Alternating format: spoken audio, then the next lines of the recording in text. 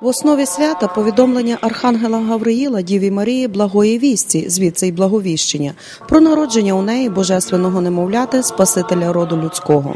Архангел Гавриїл був посланий Богом місто Назарет до Пресвятої Діви Марії і повідомив, що Господь обрав її бути матір'ю Божою. Ангел з'явився у будинок праведного Іосифа, коли Марія читала священне писання, і сказав: Радуйся, благодатна, Господь з тобою, благословена ти між жонами. Далі ангел повідомив, що Марія народить сина і має назвати його Ісусом. Марія відповіла, що вона раба Господня, і хай буде так, як хоче Бог.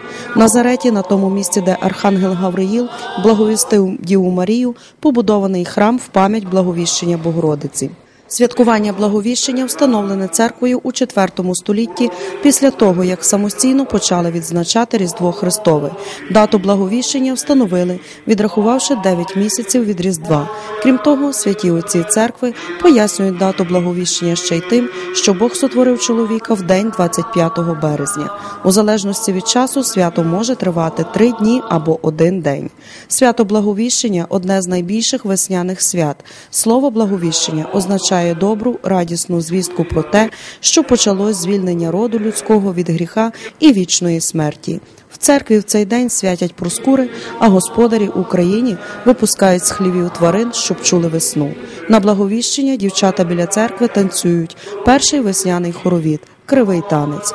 Якщо на благовіщення дівчина, йдучи по воду, знайде квітучий первоцвіт, цього ж року вийде заміж. А та, яка хоче стати гарнішою, має налити в миску холодної води, пустити плавати первоцвіт, пролісок і вмитися цією водою.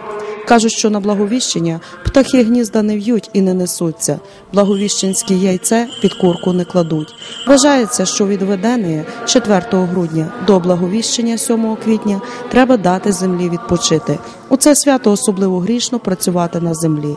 Ось на благовіщення Господь благословить усе дихання, і можна розпочинати роботи в полі. Все буде добре рости, квітнути і колоситися.